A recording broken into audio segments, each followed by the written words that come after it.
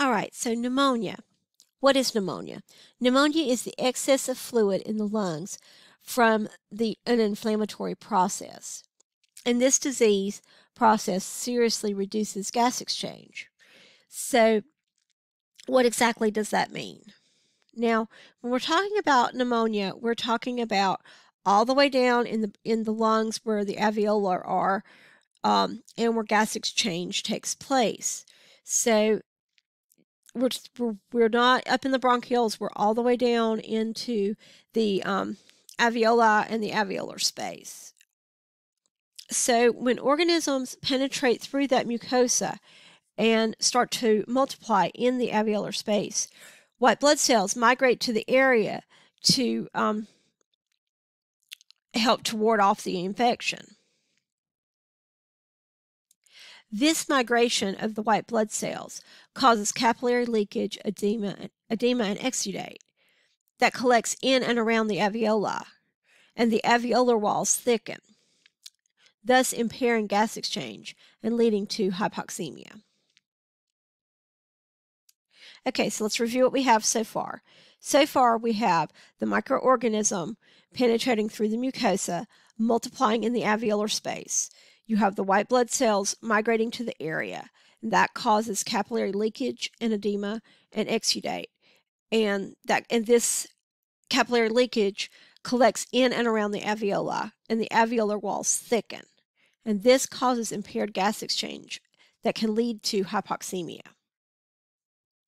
Okay, now we're going to look at that capillary leakage and the fibrinogen that has gone into the cells. Now, what this does is it stiffens the lungs, reducing compliance and decreasing vital capacity. Now, now, the capillary leakage spreads the infection to other areas of the lung. If the organisms move into the bloodstream, then you can have sepsis. And if the organisms move into the pleural cavity, then you have empyema.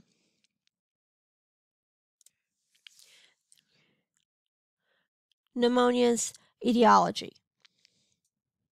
Infectious pneumonia can be caused from bacteria, fungi, viruses, or types of cancer.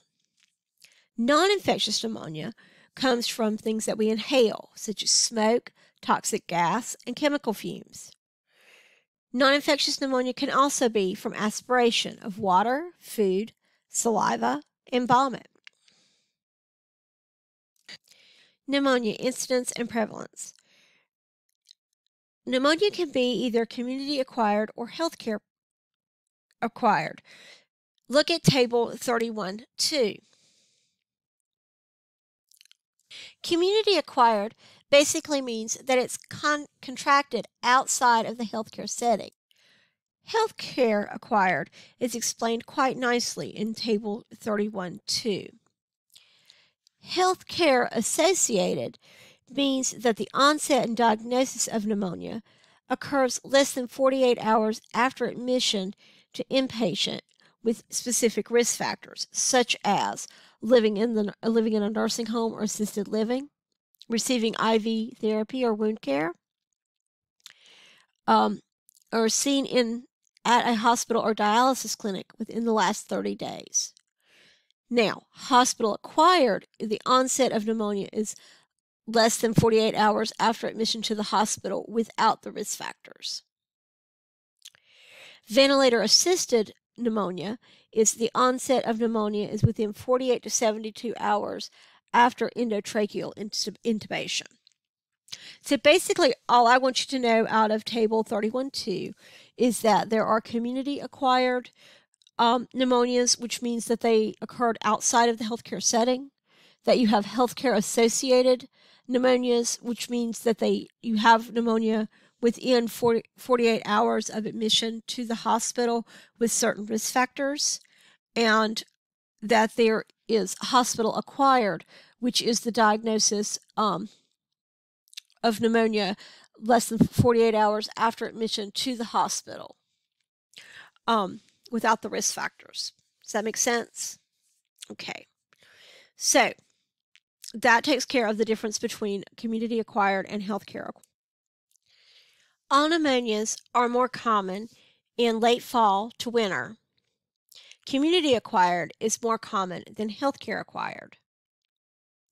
You can see the risk factors for each in Table 31.1. 2 to 5 million people a year in the U.S. get pneumonia, and more than 50,000 die. The high risk groups include the elderly, nursing home residents, hospitalized patients, people with neurological problems due to difficulty swallowing, and mechanical ventilation.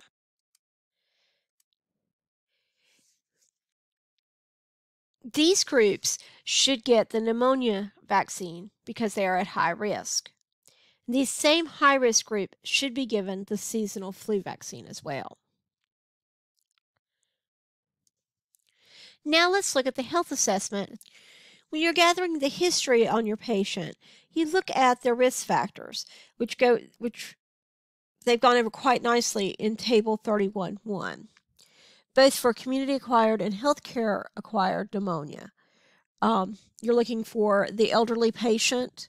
You're looking for patients who have not received their pneumonia vaccine, um, perhaps did not get their um, influenza vaccine the previous season.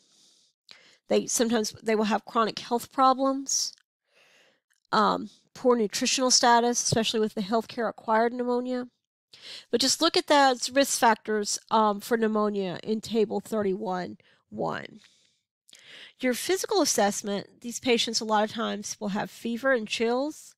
They're very tired. They have um, shortness of breath or tr- and trouble gasping for getting their breath. Excuse me. Um, they'll have hypoxia. They'll have a productive cough. They may experience chest pain, but they'll t- talk about the chest pain um, that it's when they take a good deep breath in or um, when they're coughing, their chest is hurting. Um, they will a lot of times have diminished um, breath sounds with crackles or wheezes. Sometimes they'll be hypotensive, which is a warning sign because that's an early sign of sepsis.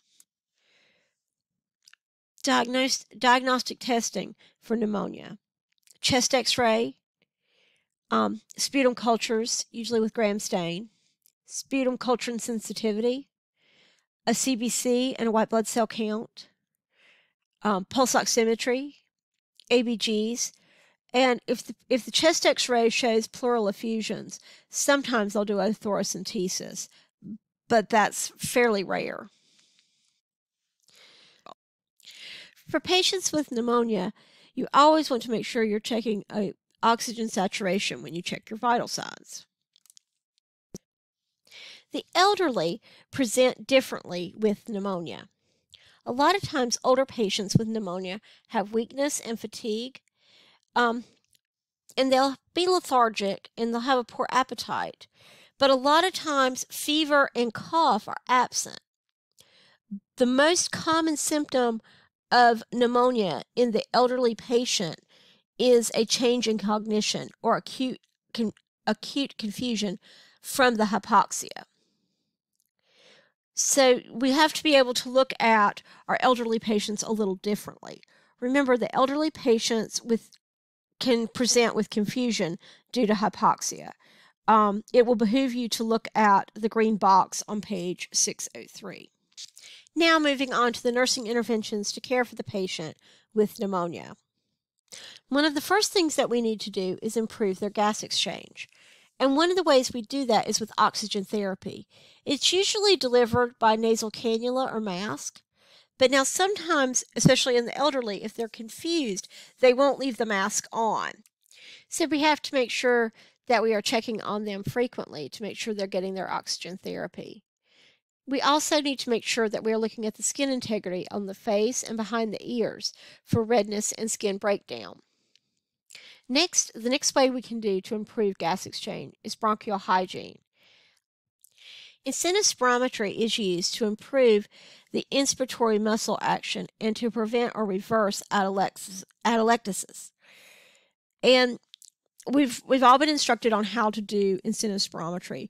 Um, I will usually try to encourage the patients to um, do it during commercial breaks when watching TV um, that usually gets there um, five to 10 times per hour.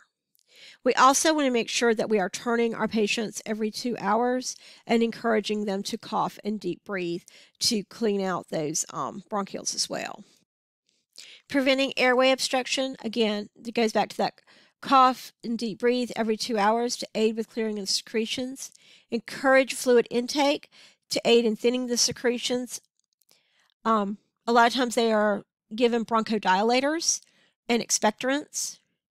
Sometimes they are given IV steroids, and with that, you need to make sure that you're watching blood sugars, um, especially in your diabetic patients or in your elderly patients.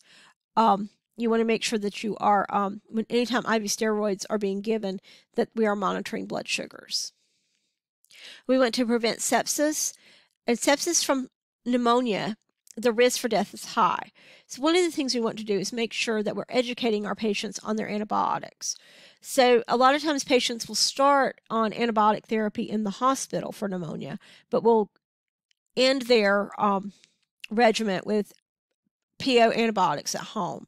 So, again, it's very important to make sure that people continue taking their antibiotics once they go home. So, as we review pneumonia, big things to remember with pneumonia is that um, some are hospital acquired, or excuse me, healthcare acquired. Some are community. Community is more common than healthcare acquired pneumonia. Um, that as for nursing interventions, we want to look at improving gas exchange and preventing airway obstructions and preventing sepsis.